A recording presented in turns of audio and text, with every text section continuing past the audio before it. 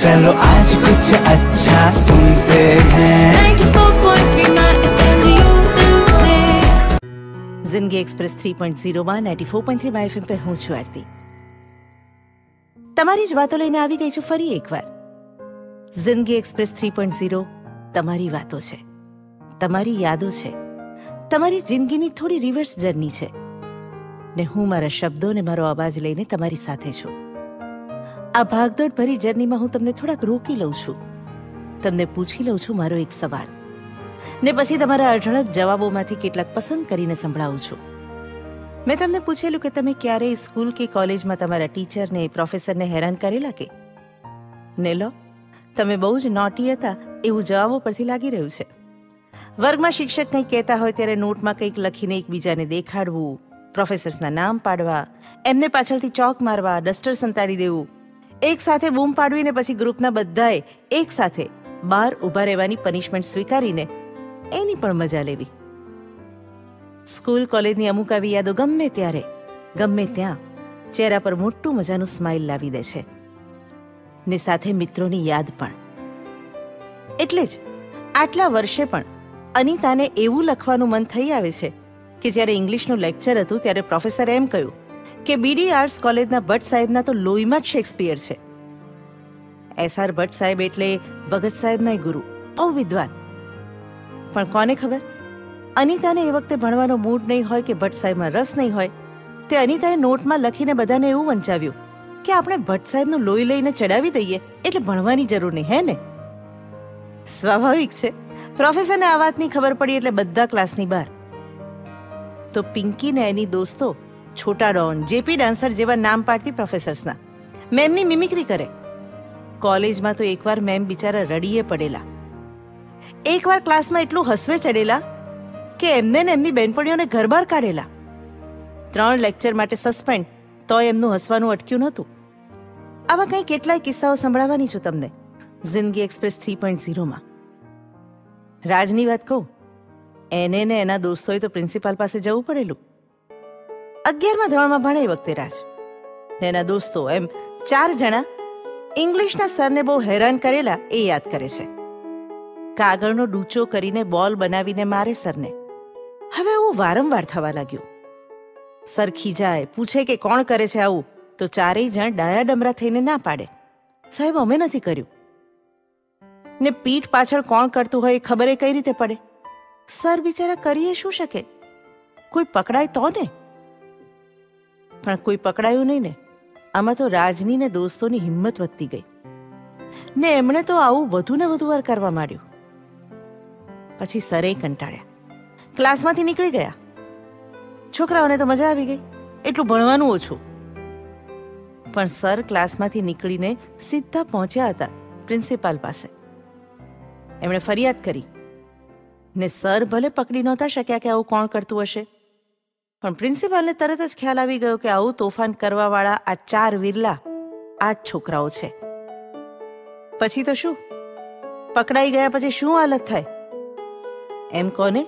પ્રિન્સિપાલે બાળકો જાણીને શિખામણ આપીને જવા દીધા. બાકી શું હાલત થઈ હોત? તમે આવું કર્યું હશે ને? તમારા સર, પ્રોફેસર, મેમને હેરાન કર્યા હશે ને? હર્ષે લખી મોકલી છે એની વાત, એની સ્કૂલની વાત. ને દિવાન બલ્લુભાઈ કાકરિયા સ્કૂલના એમના સાહેબ સતીશભાઈ ડુટિયાની વાત. દાદા તરીકે વધુ જાણીતા કેમિસ્ટ્રીના શિક્ષક એવા સતીશભાઈ. રિટાયર થવાના હતા. ને કદાચ છેલ્લી બેચમાં જ એ અગિયારમાં બારમા ધોરણમાં જ હર્ષ વિદ્યાર્થી. ગુરુ પૂર્ણિમાના દિવસે હેરાન કરે એવા તોફાની વિદ્યાર્થીઓ આ બેચમાં. ચાલુ લેક્ચરમાં ટ્યુશનનું હોમવર્ક કરે, નાસ્તો ખાય ને સર જેવા પીઠ ફેરવે કે જોર જોરથી બૂમો પાડે. સર પાછળ ફરે. પાટિયા પાસેથી વિદ્યાર્થીઓ પાસે આવે ને એકાદ તોફાની દેખાય ને હાથ ઉપાડે કે બધા વળી પાછા બૂમો પાડે. મારો મારો. દાદાના હાથ અટકી જાય. એ વળી પાછા બોર્ડ પાસે જાય કે બોર્ડ પર ચોકના ટુકડા મારે. એકવાર તો આ સરને માઠું લાગ્યું. બોલી ઉઠ્યા. મારવી હોય તો ગોળી મારી દો મને. ચોકથી હું નહીં મરી જાઉં ને તોય છોકરાઓ ગાંઠે નહીં. જોર જોરથી ગુલાબી આંખે જો તેરી દેખી એ ગીત લલકારેલું એકવાર. પ્રિન્સિપાલ કિરીટ જોશી આખા ક્લાસને સાત દિવસ સુધી ક્લાસની બહાર ઊભા રહેવાની સજા ફરમાવેલી. પણ સ્કૂલ છોડ્યા પછી એ સાહેબની સૌથી વધુ કિંમત થયેલી. એમના પ્રેમાળ શબ્દો યાદ આવતા રહેલા. ને કદાચ એટલે જ એ સર આજે સૌથી વધુ દિલમાં રહ્યા છે, એવું પણ હર્ષ કબૂલી લે છે. હર્ષ, સારા શિક્ષકો બહુ ઓછાને મળે છે, એનો અહેસાસ તમને સમયસર થયો. પણ વહેલો થયો હોત તો તમે એમને હેરાન ન કર્યા હોત, હે ને? ચાલો, હર્ષની વાત જવા દઈએ, રશ્મિની વાત કહું. એની વાત જુદી છે. એનાથી તો અજાણતા થઈ ગયેલું. રશ્મિ એ વખતે આઠમા ધોરણમાં. ને ટ્યુશન ક્લાસમાંય જાય. હવે એ સમયે આવા એસી વાળા અને મસ્ત મજાની બેન્ચ હોય, એવા ટ્યુશન ક્લાસીસ ઓછા. રશ્મિ તો જ્યાં ભણવા જતી ને, ત્યાં સર નીચે બેઠા હોય ને, આજુબાજુ ગોળ કુંડાળું વળીને સ્ટુડન્ટ્સ બેસી જાય. રશ્મિ પાછી ભણવામાં હોશિયાર. એને આગળ રહેવું ગમે, એટલે બેસવામાં એ સૌથી આગળ બેસી જાય. એવામાં એકવાર રશ્મિથી લખતા લખતા કંઈક ભૂલ થઈ. સરે ફૂટપટ્ટીથી રશ્મિને માર્યું. ને રશ્મિએ ક્ષણને વિલંબ વિના જે પેનથી લખતી હતી ને, એ પેનની અણી સર જે હાથે જમીન પર ટેકો દઈને બેઠા હતા, એ હાથમાં જોરથી મારી. સરથી ચીસ પડાઈ ગઈ ને રશ્મિ ભોંઠી પડી ગઈ. વિજ્ઞાનમાં જેને આઘાત સામે પ્રત્યાઘાત કહે છે. બસ એ જ હતો એ. પ્રતિ આઘાત. રિફ્લેક્સ એક્શન રશ્મિને આજે પણ યાદ આવે છે અને ભોંઠા પડવા જેવું થાય છે. અપરાધ ભાવ અનુભવાય છે. નિશિત સર, જો આપ સાંભળતા હશે ને રશ્મિ, તો તમારી વાત ચોક્કસ સમજશે. આ વાતનો ભાર તમારે રાખવાની જરાય જરૂર નથી. તમે નાના હતા. તમારી દાનત એવી નહોતી. એવું તમારા શિક્ષક નહીં સમજે, તો કોણ સમજશે?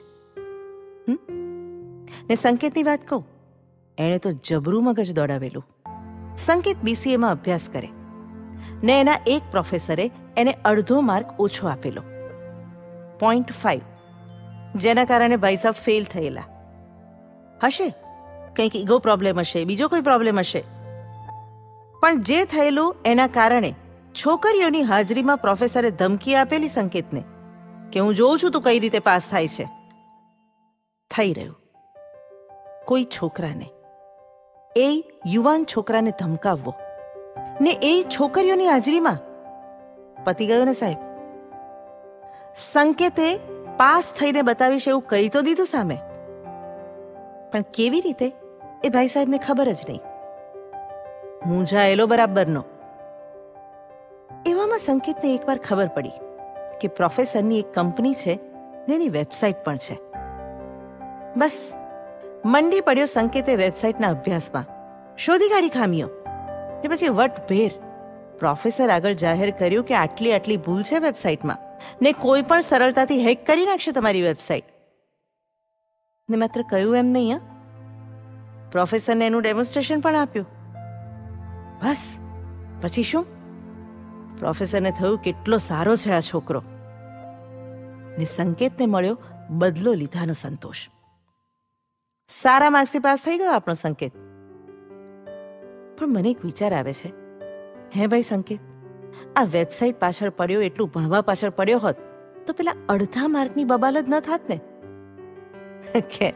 સંકેતનો પ્રશ્ન તો ઉકેલાઈ ગયો, એના જે પણ દિમાગ લડાવાને કારણે કે જે હોય તે. પણ સામ સામ પટેલે તો છેક સુધી પ્રોફેસરને હેરાન કર્યા છે. સામને તો હેરાન નહોતા કરવા આમ. પણ સામ રહે ભાવનગરમાં ને કોલેજ બોટાદમાં હવે અપડાઉનમાં બસના સમય એવા કે આઠના લેક્ચરમાં સામ આઠ ને વીસે પહોંચે. સાહેબને ખબર આમ તો સામના મોડા આવવાનું કારણ. પણ એકને છૂટ આપે તો બધાય છૂટ લેતા થઈ જાય, એવું એમનું માનવું હશે. એટલે સામને ખીજાય તતડાવે ને ક્લાસની બહાર કાઢે.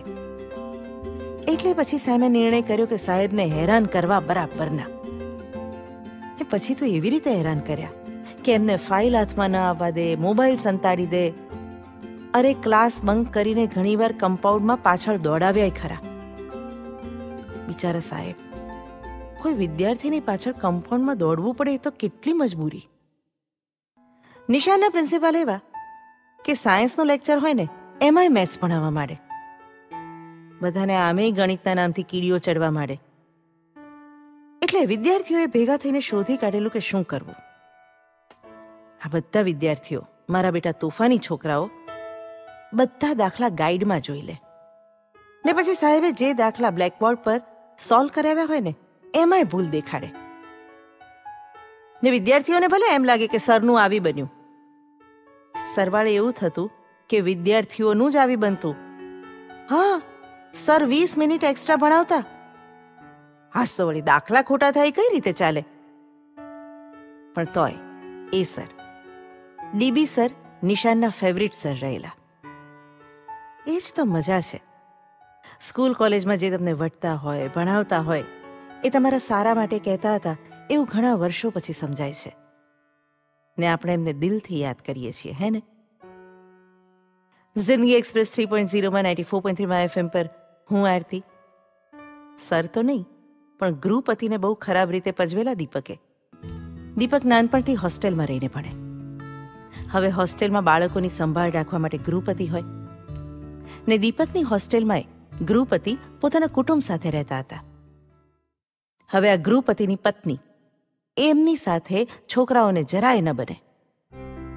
એ આખો દિવસ છોકરાઓને રમતા જુએ, રખડતા જુએ કે પછી કંઈક વાંક હોય. તો આ ગૃહપતિની પત્ની ગૃહપતિને ચાડી ખાઈને છોકરાઓને માર પડે. તે છોકરાઓના મનમાં ઠસી ગયું કે આપણને માર પડે છે, એનું કારણ આ ગૃહપતિની પત્ની જ છે. ખીજ તો બહુ ચડી છોકરાઓને. બહુ વિચાર્યું કે હેરાન કરવા શું કરવું? પછી એમણે ભયંકર કંઈક વિચાર્યું હાથ પર પ્લાસ્ટિકની થેલી પહેરીને બાંધી દીધી ને આસપાસના વિસ્તારમાં ઉગેલી ભૈરવસિંહ ભેગી કરી. ગૃહપતિની પથારીને બેઠક રૂમમાં છાંટી દીધી. હવે આ ભૈરવસિંહ એક વનસ્પતિ છે. એક પ્રકારની સિંગ હોય ને એની પર રૂંવાટી હોય.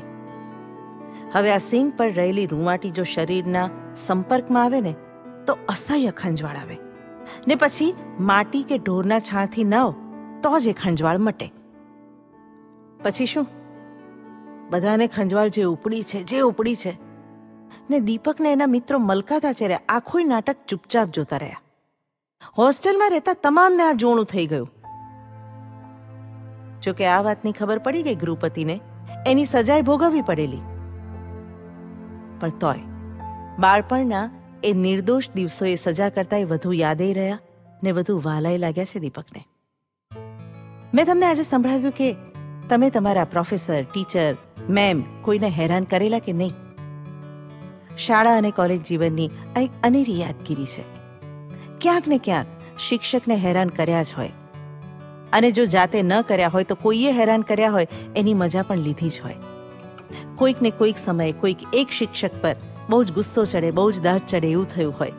ક્યાંક કોઈક એક શિક્ષક કે પ્રોફેસરના વારામાં તમે આવી ગયા હોય, એવું પણ બન્યું જ હોય. અને શાળા કોલેજની આ યાદગીરી, તમારી યાદગીરી મેં તમને સંભળાવી મારા શબ્દોમાં. Zindagi express three point zero એ જ તો છે. તમારી વાતો હું તમને ફરી એકવાર યાદ કરાવી દઉં. હું એક પ્રશ્ન પૂછું ને તમે એના જે જવાબો આપો એમાંથી કેટલાક પસંદ કરેલા જવાબ હું રેડિયો પર સંભળાવું તમારી જિંદગીની રિવર્સ જર્નીમાં હું થોડુંક સાથે ચાલું Zindagi Express three point zero ninety four point three માં એફએમ પર સોમવારથી શુક્રવાર રાત્રે નવ વાગે चलो आज कुछ अच्छा सुनते हैं 94.3 My